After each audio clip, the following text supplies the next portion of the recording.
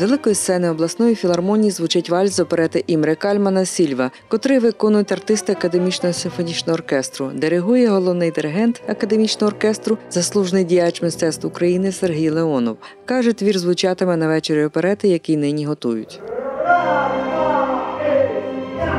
традиційно у всій Європі грати музику оперети саме в ці різдвяні, піс- після різдвяні е, часи.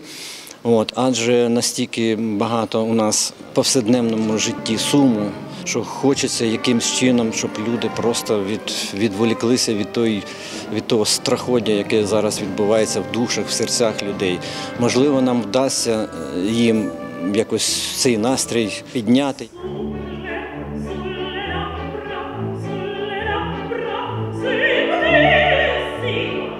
Заслужена артистка України, солістка обласної філармонії Фатіма Чергінзія каже, солісти виконуватимуть арії з оперет як сольно, так і в ансамблі. Багато сольних номерів, багато ми співаємо в ансамблі. Я особисто співаю Імри Кальмана вихідну арію Сільви, яка мені дуже подобається.